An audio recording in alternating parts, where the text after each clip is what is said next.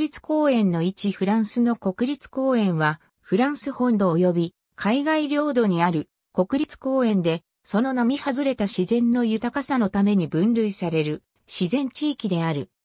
厳格な自然保護規制のある主要ゾーンと呼ばれる保護ゾーンと自治体が公園の持続可能な開発に必要な付属エリアの2つのセクターに構造化されているという特徴がある。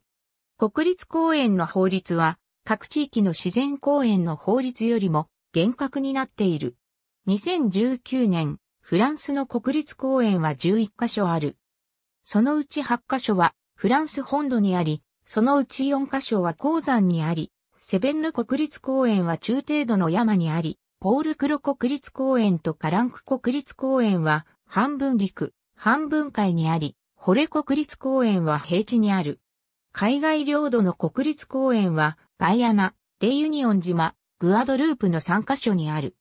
これら国立公園の主要エリアは、国際自然保護連合の保護地域に関する世界委員会によって一般にカテゴリ2保護地域として分類され、付属エリアは一般にカテゴリー V に分類される。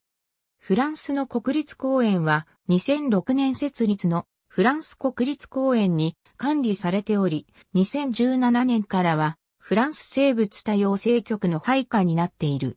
以下、フランス国立公園を列挙していて、全部で11カ所ある。ありがとうございます。